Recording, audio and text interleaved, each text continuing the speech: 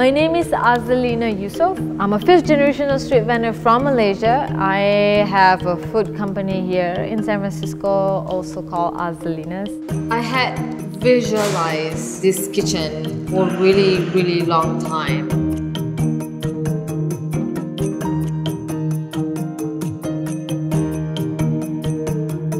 We've been working out of this kitchen the last three weeks.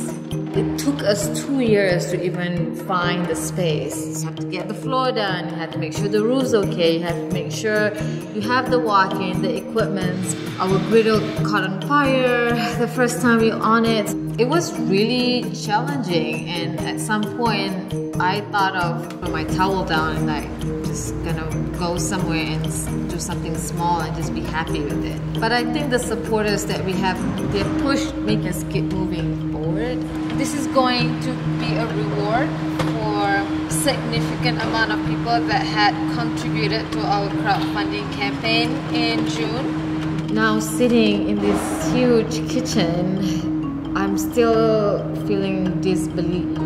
I'm still operating my business as usual. Still have the same two children and a dog and a husband. That's our wedding picture. That's my dad. This is my kitchen. This is the very first kitchen that I start cooking. Trying to find the real Azalina, trying to get to my roots. When Bon Appetit magazine wrote about us, the food was still coming from this kitchen. This one lonely table, this is a reminder of how I started. So I told Tim to specifically leave it right there. It's a reminder table. It's a table full of memories.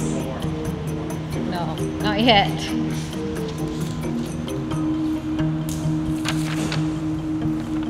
First big day. So exciting.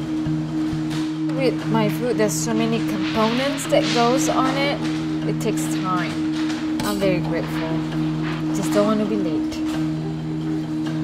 To feed hungry people. Yeah, yeah, yeah, yeah. Move, move, move, move. People?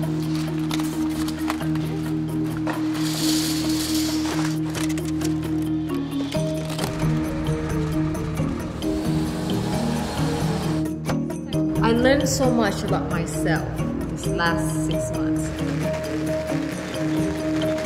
I am at the beginning of knowing that I have the potential to become successful.